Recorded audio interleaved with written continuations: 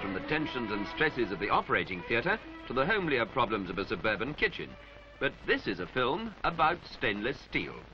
A film to show you how we at Firth Vickers help to make it at home in every environment. In case you hadn't guessed, this washing machine tub is made in stainless steel. But here in the kitchen, where there is so much stainless steel, its attractive appearance and ease of cleaning is taken for granted. Hey, there's no need to polish that tub, it's stainless steel. Though she doesn't know it, there's quite a history to that tub. And it all began when a well-known maker of home laundry equipment decided that the time had come to adopt stainless steel for this application. To look into the problems involved, one of our area representatives invited the client to our head office in Sheffield. Firth Vickers have branch sales offices throughout Britain, each staffed by teams of representatives who maintain close liaison with customers, keeping them advised of all the company's products and activities. A meeting with the general sales manager is typical of the way so many projects have started, with discussions ranging from supersonic aircraft to steam irons.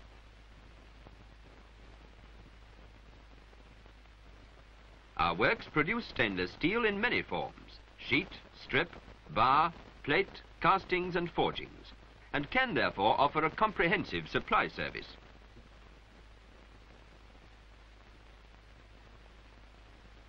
Before commercial considerations give way to the technical aspects, the General Sales Manager outlines the help that can also be given publicising the end product and providing marketing aids.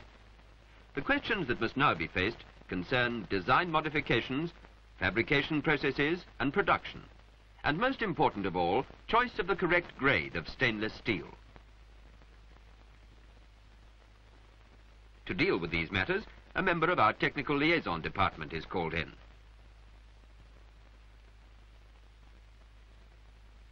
This department is staffed by engineers and metallurgists and acts as the liaison link between research laboratories, the works metallurgists and the sales organization. And in this way is specially equipped to investigate any problems that occur in customers' works or in advising on the best way to tackle a new fabrication. The project is discussed with the technical liaison officer. During the following months, he will pay many visits to the customer's factory working closely with their engineers and production personnel through development and prototype stages. The liaison officer confers with his manager to decide the best way to tackle the job. And the first point to be discussed is the grade of stainless steel to be employed. There are, of course, over 50 different standard grades. The technical liaison team devote a major part of their time to the investigation of new fabricating techniques and the development of new uses. Here, for example, is an investigation of protective plastic coatings for the cold pressing operation.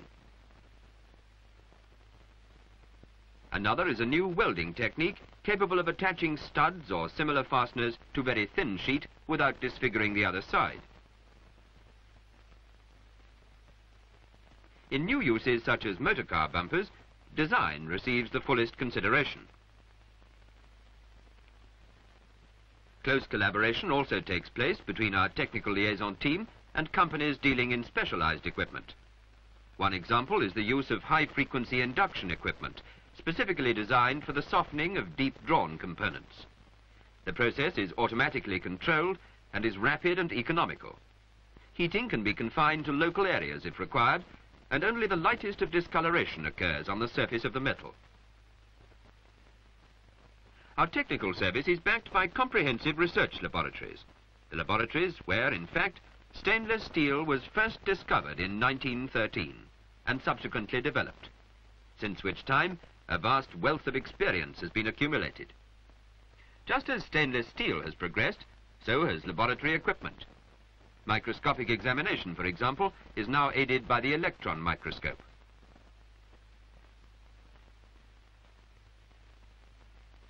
Similarly, in the testing of heat-resisting steels, this thermobalance automatically records the change in weight of the test specimen as the experiment progresses. Research into high-strength materials is continually in progress. In addition to room temperature tests, facilities for sub-zero and high-temperature testing are also available. Greater demands, too, have been imposed upon analytical methods. New melting techniques have made possible stainless steels with carbon contents less than 0.03%. This, then, is the organization which created stainless steel and provides the basic knowledge that enables these engineers and technicians to adapt it to a washing machine tub. The grade of material has been chosen. In this case, Sta-Brite FST steel type 302.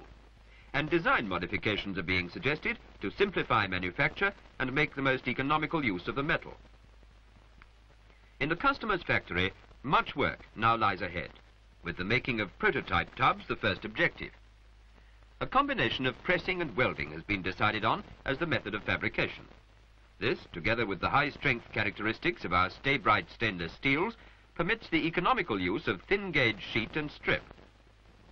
The whole project now becomes a concerted team effort, and the production engineer and his staff quickly learn the characteristics of the material, and you will see how effectively they adapt standard equipment to suit it.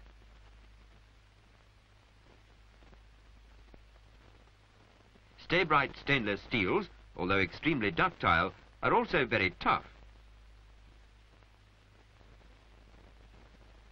In press work, therefore, high holding down pressures are required. Otherwise, this occurs.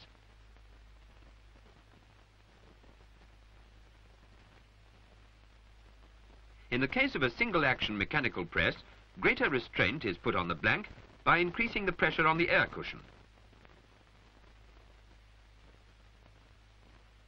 The pressing of the base of the tub is not in any sense a deep drawing operation. It does, however, involve, during this first operation, a wide flange which will subsequently form the base of the tub surrounding the agitator. It is essential, therefore, that the flange be kept flat and free from any surface damage.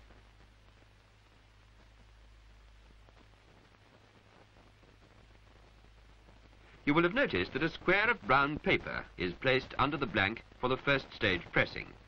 It was found that such a procedure on this particular press gave the consistent high standard of pressing required.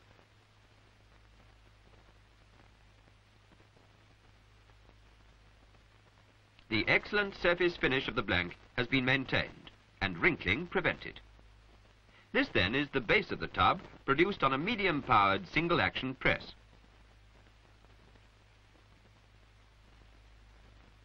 For full-scale production, it was decided to use material for this project in the form of blanks in order to reduce handling. However, if required, we could equally well have supplied either sheets or coils up to five and a half tons in weight.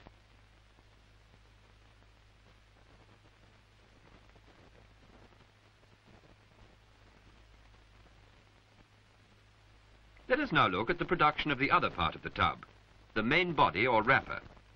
The strip is first trimmed under a blanking tool to give the dimensional and edge accuracy necessary for the subsequent butt weld.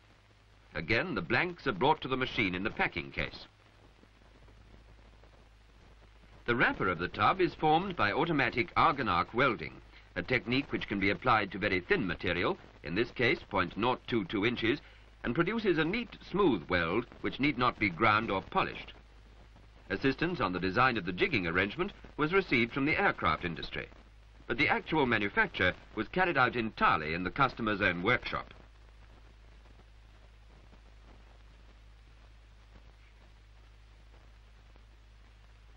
Care in jigging is of paramount importance, as the edges must butt together perfectly.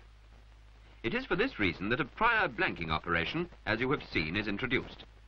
Should there be any misalignment of the edges, this is the type of weld defect that can occur. The production personnel quickly devised a fixture to ensure precise location of one edge. It is then simple to position the other edge correctly.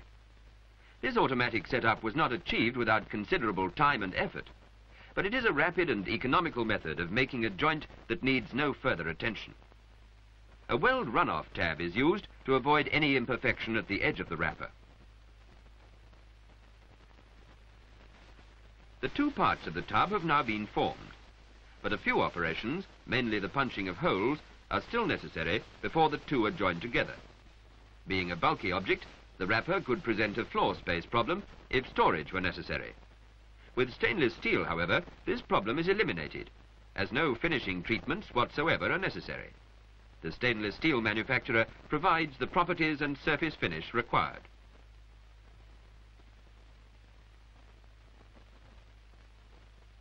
This production layout covers a floor space of approximately 70 square yards and is capable of producing 3,000 tubs per week. The final operation is the resistant seam welding of the wrapper to the base. Like all the previous operations, this is carried out on standard equipment.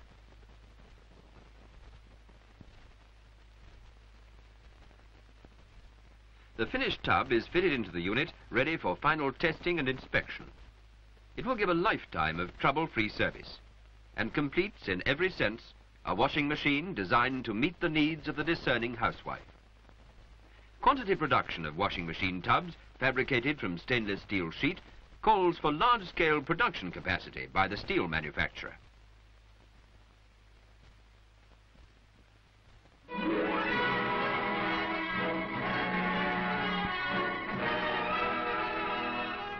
A short tour of the continuous sheet mills at our subsidiary company, Shepcote Lane Rolling Mills Limited, illustrates our ability to deal with such demands. Slabs five and a half inches thick are first rolled in a hot reversing mill. This is followed by rolling in a fast hot Steckel mill, where during passes through the rolls, the strip is alternately coiled in reheating furnaces situated at either side of the mill.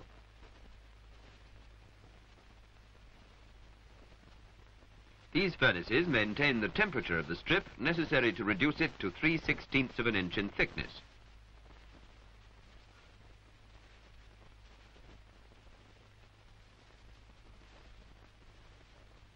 The stainless steel is now in wide strip form and is coiled ready for further processing.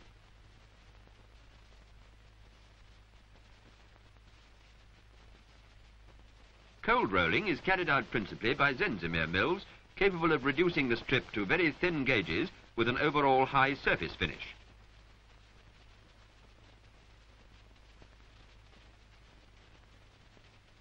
Intermediate softening may be necessary, depending upon the degree of reduction required. Continuous lines are used to deal with this, as well as the final softening and descaling.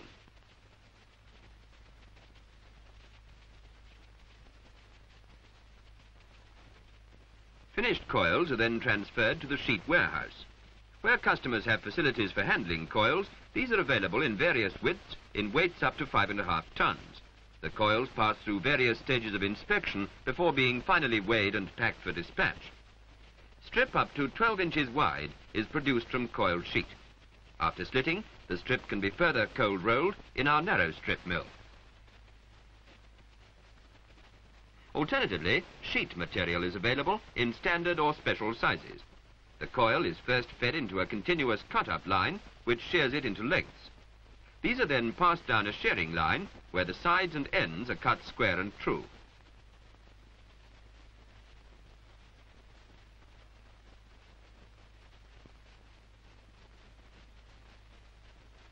Customers' individual requirements for circles for such items as motor car wheel discs, saucepans, teapots, and of course washing machine tubs are supplied in a wide range of Sta-Brite and stainless steels.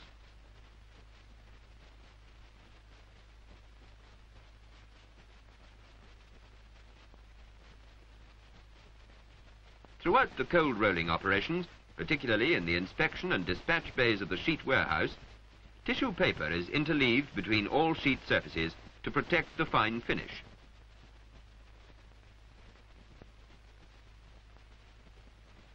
Finally, the material, whether in coil or in cut sheet form, is carefully packed and prepared for dispatch to customers throughout the world.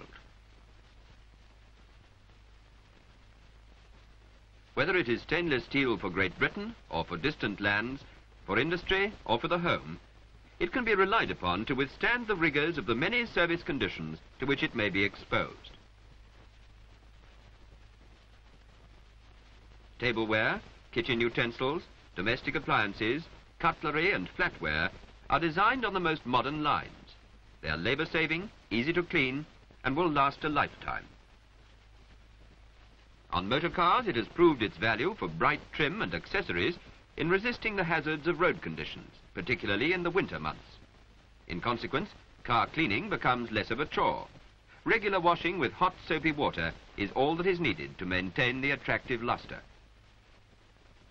Fatigue in gardening, too, is greatly reduced with stainless steel implements.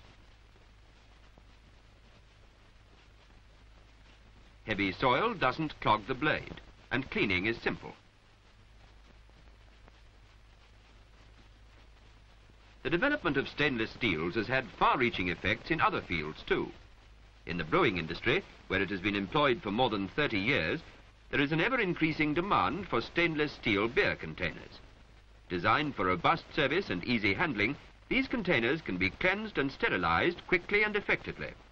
They are interchangeable for the storage and transportation of carbonated beer without the least risk of tainting or transfer of flavor.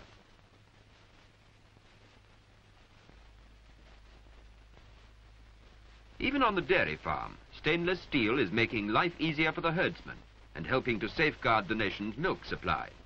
The bulk collecting system, devised and operated by the Milk Marketing Board, eliminates the need for churns, since the milk is taken directly from the cow and filtered into refrigerated tanks.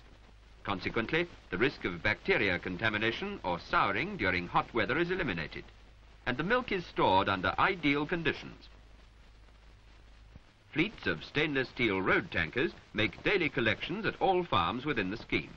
The tankers are refrigerated to protect the milk during transportation to the dairy.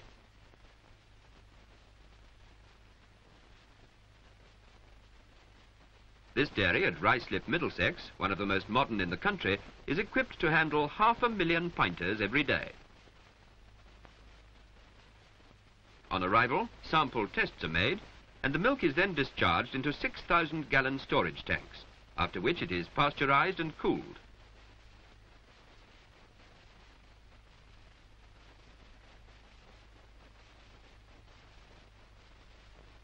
Bottle washing plant and filling machines make extensive use of stainless steel and complete the processing cycle. In short, from cow to consumer via stainless steel.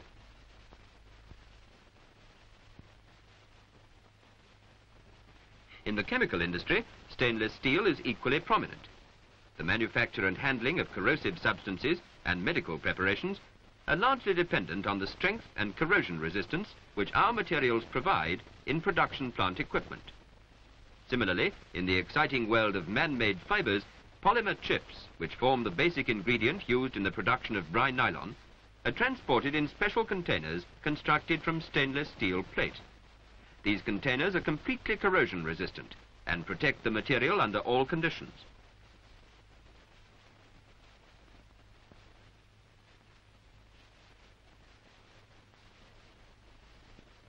Leaving industry for a moment, take a look at these golf clubs. Recognize the stainless steel heads?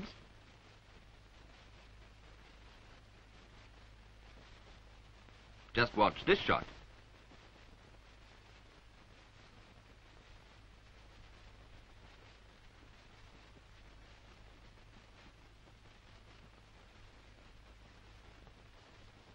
Here's another unusual application which reduces polishing time at one of Sheffield's fire stations. There's no likelihood of splinters from this slide pole. It's one of several fabricated from Sta-Brite stainless steel.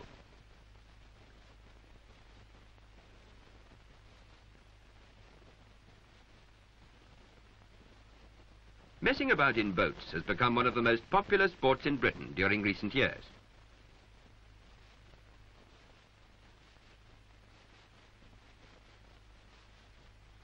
There's an ever-increasing demand for fittings and accessories in our Sta-Brite FMB steel for small craft just as much as ocean-going luxury yachts. Afloat or ashore, on motorboats or motorbikes, stainless steel improves performance. All the original bright parts of this motorcycle have been replaced in stainless steel. And even after a hard ride in the severest weather, a wash down in hot soapy water restores the original luster of the brightwork.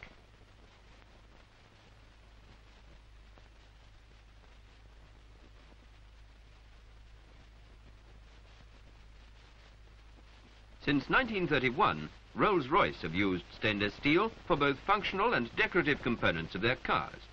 On the one hand, silencers and exhaust systems, and on the other, their famous radiator grille. From the early days of aviation, we have pursued a program of continuous research into new steels for aeronautical applications, from airframe parts for early machines to annular components produced as century spinnings for turbojet engines.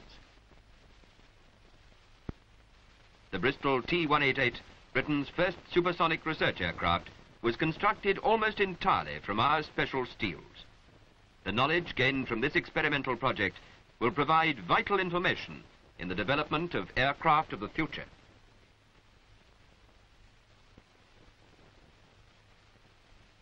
These brief glimpses have shown you how stainless steel has met the challenge of progress through half a century. What of the future? Architecture is just one of the new and exciting applications. The Millbank Tower, which stands majestically on the Thames embankment, is a striking example of the effect which can be achieved with stainless steel. For the citizen of the future, there's a whole world of stainless steel. He can be confident we shall continue our policy of research into new steels and the development of new fabricating techniques and applications. As he ponders these things, let us remind you that our sales and technical service is based on the knowledge and experience gained over 50 years and is freely available to designers, engineers and fabricators. In fact, to everyone concerned with the use of stainless steel, whether it be for pen nibs, pressure vessels, teapots or turbines. Tomorrow's horizons are wide indeed, for the citizen of is stainless steel.